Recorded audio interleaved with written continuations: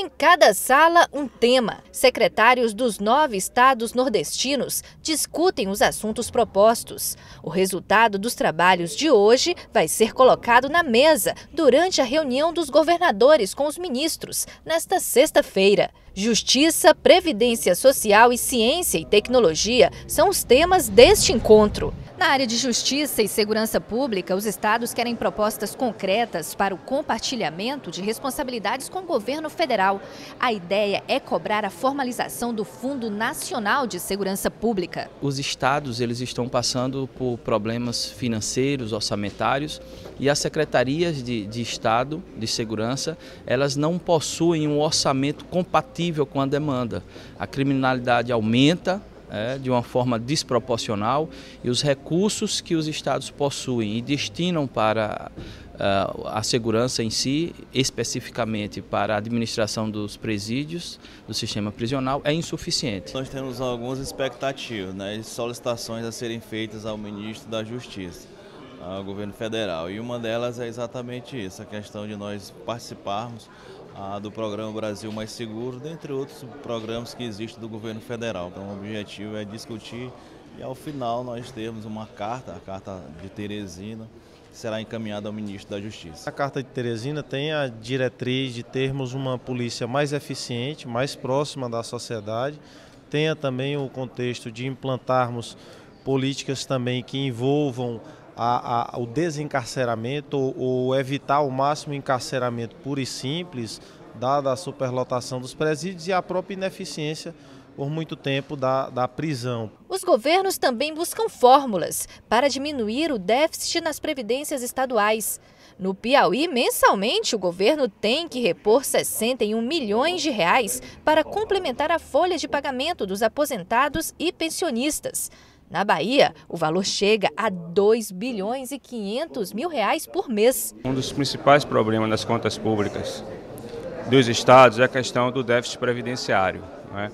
Tem agravado muito as condições de sustentabilidade dos estados, porque precisam aportar recursos para é, assegurar a aposentadoria dos, dos beneficiários. Né? No caso do estado da Bahia, esse déficit está na ordem de 2 bilhões e 500 milhões.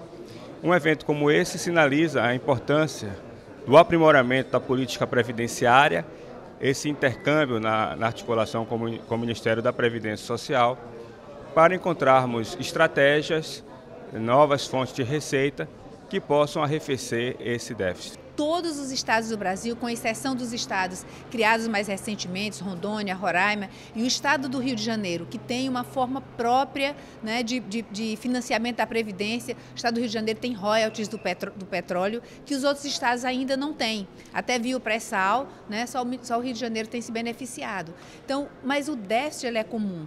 Então, essa forma de gerir o financiamento da Previdência, ele não está dando conta do esforço que a Previdência tem que fazer para pagar aposentadorias e para pagar pensões. Isso tem é, feito com que os estados deixem de investir, por exemplo, em saúde, em segurança, em educação, para investir, para dar conta né, desse compromisso que há em, com aposentados e com pensionistas.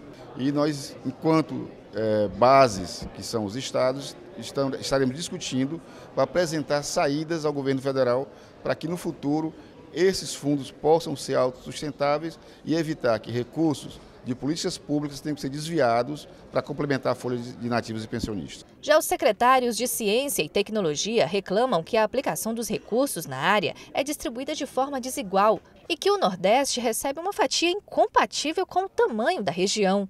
O Nordeste hoje representa 28% da sua população.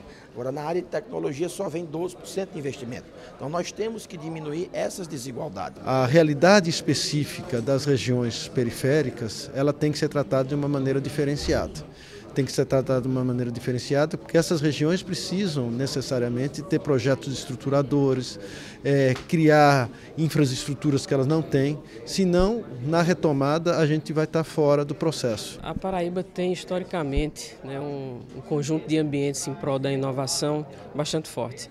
É um dos estados no Brasil que tem o maior índice de interiorização do ensino público gratuito.